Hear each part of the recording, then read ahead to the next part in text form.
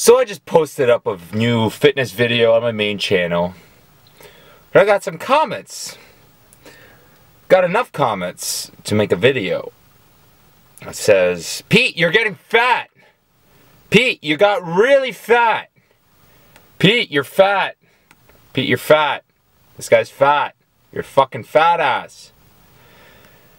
Now, boys and girls, children of all ages, if I was concerned that I put on a couple pounds, if I was concerned that my gut got a little bit bigger, do you really fucking think that I would take off my shirt during a workout?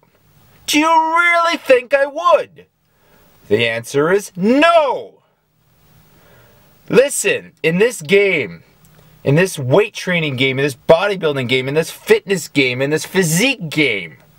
If you're going to be doing it naturally, if you're going to be doing it properly, if you're going to be just doing it and living a normal life with a fun lifestyle, and you want to gain strength, mass, you are fucking going to put on some fat.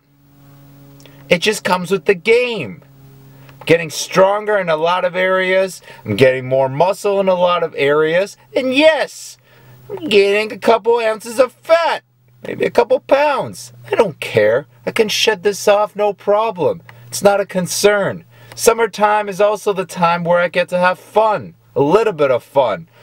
Well, not really. Well, sometimes. I travel so much that diet, everything like that is never in check. Never you know, you're going out, you go to different places, you meet new people or people you haven't seen in a long time. Yeah, you're going to go out for drinks. Yeah, you're going to go out for dinners here and there. When you travel on the road, it's hard to eat healthy. You know, I buy roasted chickens from the supermarket. I make, I boil up eggs and so forth, eat a lot of protein bars and whatnot.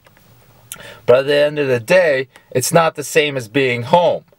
But that aside, those excuses aside, I'm fucking bulking not bulking drastically because everything that I do, I always have a range. I never go above a certain range. I'm about to hit 240 pounds. Soon as I hit that, start to ease off a little bit.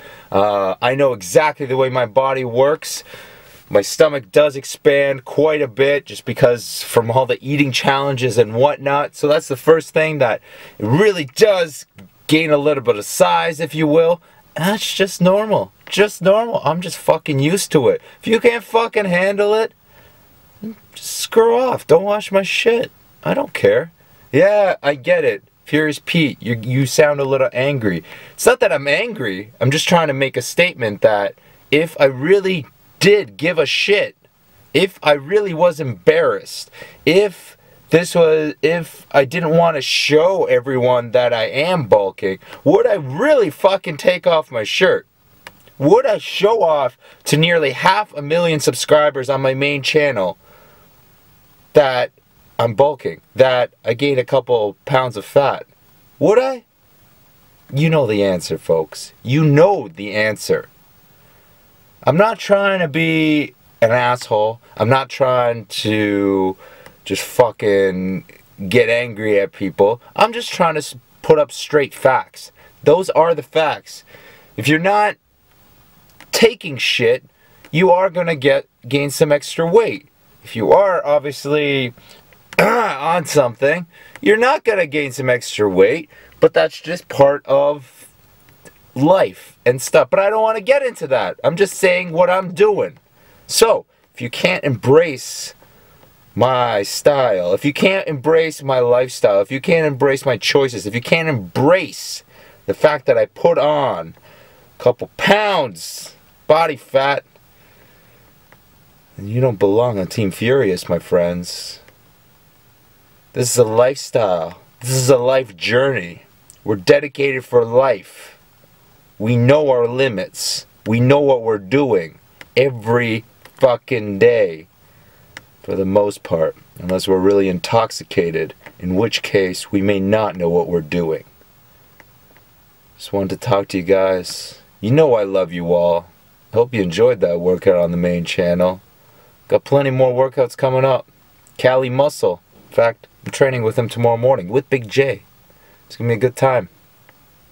Catch you later. Stay decadent for life, and of course, stay sexy, stay hungry, and get laid.